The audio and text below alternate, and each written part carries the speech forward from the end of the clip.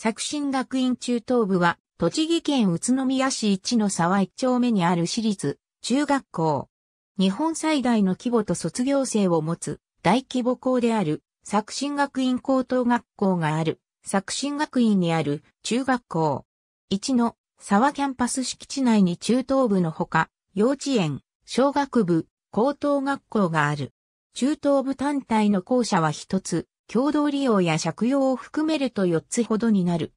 従来は学校法人船田教育会により運営されていたが、2010年度から設置者が学校法人作新学院に変更された。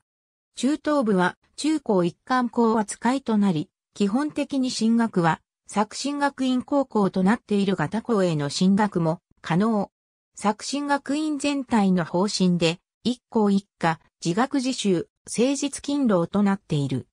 基本的に月曜、水曜、金曜が6時間授業、火曜、木曜が7時間授業となっており、基本火曜と木曜の7時間目に学級活動や道徳の授業が行われるため、学習は毎日6時間分ある。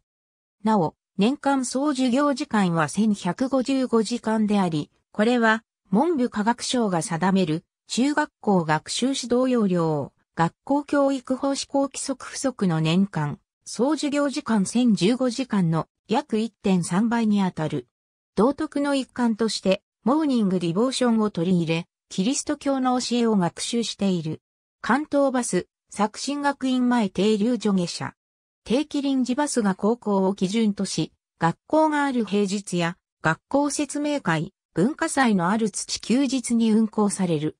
中東部時代の萩野康介さん作新学院。2019年10月27日閲覧。